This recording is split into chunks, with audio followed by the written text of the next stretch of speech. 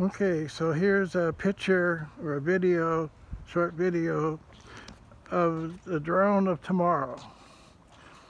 This is a metal frame.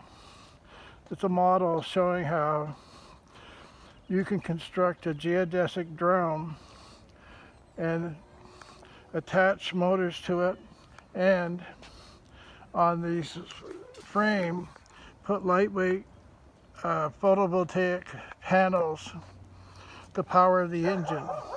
Here's a mock-up of the engine, a ducted fan. Okay, also because it's a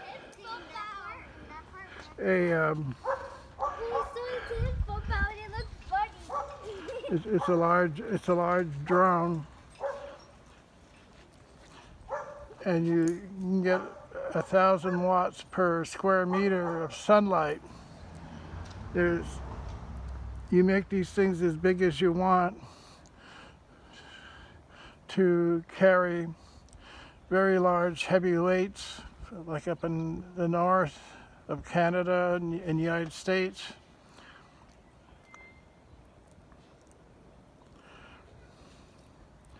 Okay, and you can you can power these things.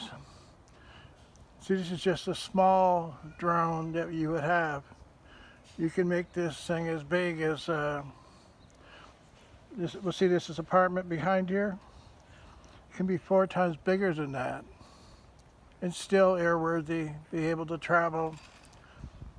It's the future of transportation in the air.